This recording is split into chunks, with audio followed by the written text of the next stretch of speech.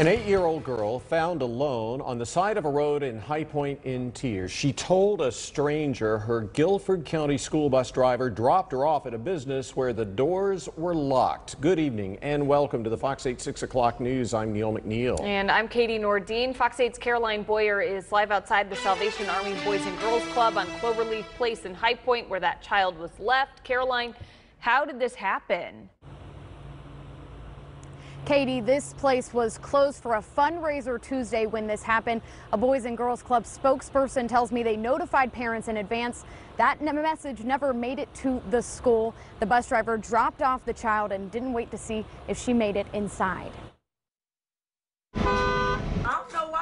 Did that, but I, I mean, really, honestly, I ain't even really blaming them. Skylar's mom admits the day her child was left alone at this Boys and Girls Club in High Point, she failed to notify her child's school. I feel like the blame is on me because I, sh I should have, you know what I'm saying? I, I wasn't thinking. The eight year old walked down this road and ended up off the exit ramp, crying and trying to flag down someone to help her. I pulled over and she come running to me. And when she did, she was so, so frightened. So I took and uh, let her call a family member. She couldn't reach nobody.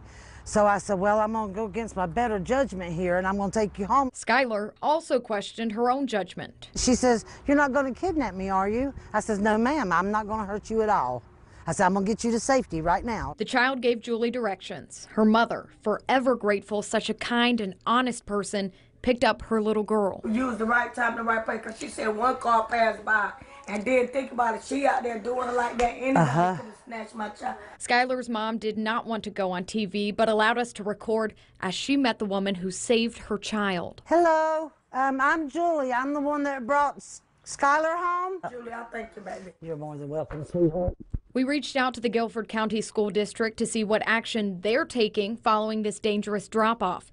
In a statement, the district's chief of staff, Dr. Rebecca Kay, said Quote, we are grateful to the community member who took action to ensure the student was safe. While the Boys and Girls Club had a process in place to ensure that parents were informed, the district did not previously receive these notifications. To ensure this cannot happen again, the Boys and Girls Club now has a process in place to notify GCS directly when the program will be closed. Mom also learned a lesson through this. Miss Julie, it could have been worse than it, it was. It could have. I'll do it again, okay?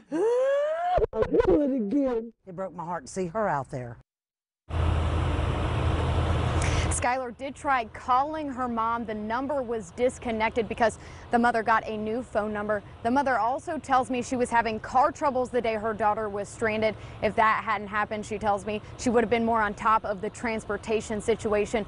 But she will continue sending Skylar to the Boys and Girls Club. Live in High Point, Caroline Boyer, Fox 8 News.